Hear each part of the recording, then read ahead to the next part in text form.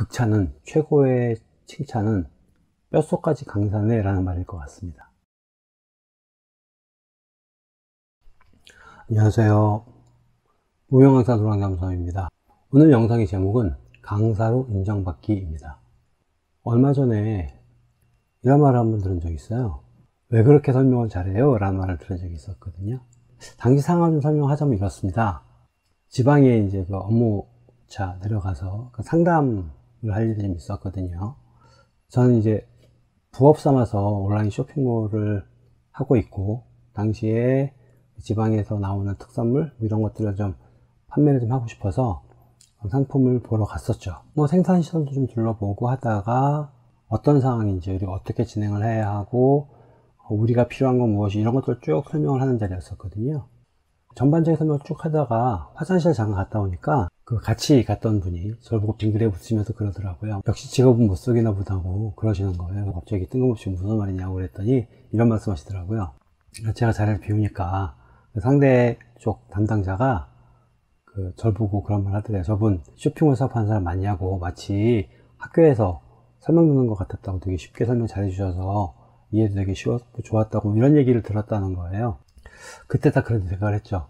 야, 생판 모르는 사람 만나서 불과 한 시간 만에 직업이 들통나는구나 라는 생각을 했었습니다. 그 인정이라는 단어를 사전에서 찾아보면 그렇다고 여김이라고 하는 뜻을 갖고 있다고 합니다. 강사로 인정을 받는다라고 하는 것은 주위 사람들한테 내가 강의를 하고 있다, 강사를 하고 있는 사람이다, 강사라는 직업을 갖고 있다라고 하는 것에 대해서 확실히 그렇게 받아들여진다라고 하는 의미가 되겠죠. 보통 이제 그런 말을 듣는 경우도 좀 있죠. 어, 의미는 같지만 이게 상황에 따라서 부정적이 될 수도 있고 긍정적이 될 수도 있는 게, 야, 저, 저 사람 정말 저 일하는 사람 맞아? 라고 하는 말을 듣는 경우들이 있죠.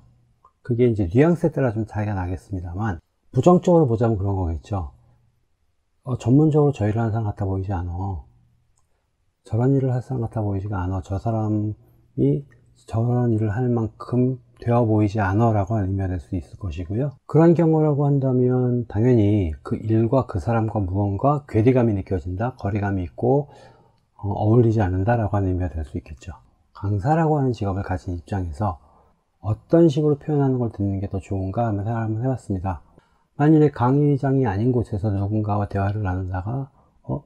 강사세요? 선생님이세요? 강의하세요? 라는 말을 듣는다면 내 어떤 그 말하는 습관 이런 것들이 이제 그런 쪽에 느낌이 나는 직업적인 느낌이 풀풀 풍기는 그런 상황이라고 얘기를 할 수 있을 것이고요. 근데 어쨌든 강의 입장, 입장에서는 강사 맞아요? 라는 말을 듣는 것보다는 아, 강의하세요? 라는 말을 듣는 것이 낫겠죠.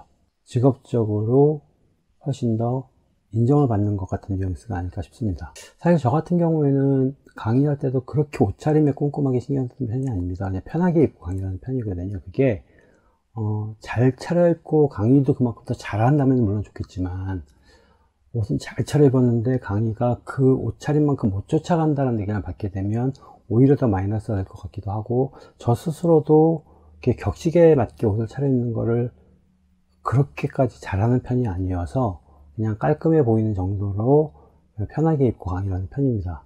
물론 뭐 제가 그런다고 해서 정장을 입고 좋게 옷을 입고 강의하시는 분들 폄훼하자는 의미는 아니고요. 제가 그렇다는 얘기입니다. 최근에 이제 제가 새로 준비하는 강의 때문에 교육기관들하고 면담을 진행한 일들이 좀, 좀 생기거든요. 그런 일이 있을 때마다 제가 꼭 묻는 게 있어요. 혹시 옷차림에 대해서도 특별한 기준이 있습니까? 신경 써야 합니까? 라는 질문을 꼭 하거든요.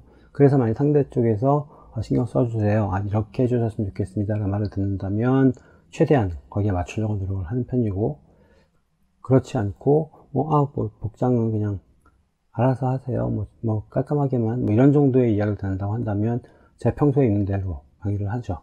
사실 강사한테 중요한 건 어떤 옷을 입느냐, 어떤 스타일을 했느냐 이런 것보다 더 중요한 건 강의 자체에 대한 평가겠죠. 제가 생각할 때 절대 듣지 말아야 될 말은 강사 맞아? 라고 하는 표현일 것이고요. 제가 생각할 때 저한테 가장 극찬은, 최고의 칭찬은 뼛속까지 강사네 라는 말일 것 같습니다. 오늘 영상은 짧지만 강사의 어떤 기본 자질에 관련된 부분들에 대해서 몸에서 배워나간 습관들 이런 부분에 대한 얘기를 짤막하게 드렸습니다. 감사합니다. 무명강사 노랑잠수함이었습니다.